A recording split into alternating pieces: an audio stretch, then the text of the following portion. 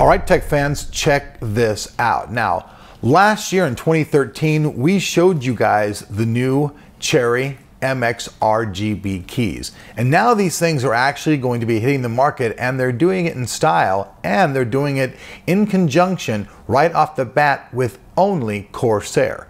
So right now, when this new technology hits the market, you're only going to see it on a keyboard made by Corsair. So for 2014, you're only going to be able to get this technology. So this video is something that we picked up at this year's CES 2014, and it's basically a promo from the folks over in Germany who are actually quite nice. A shout out to you guys. Very nice meeting you folks if you're watching this video.